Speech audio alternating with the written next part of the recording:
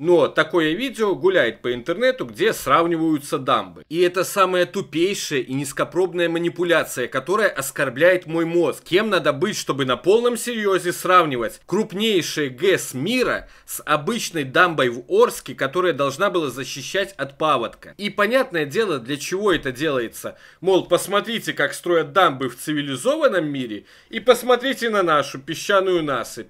Хорошо, давайте посмотрим на наши дамбы. Ой, подождите, что-то не то. Тоже какая-то песчаная насыпь, тоже прорвало. Только это происходит не в России, а в Соединенных Штатах Америки, в Мичигане. И где же все вот эти вот монструозные сооружения, которые должны останавливать воду?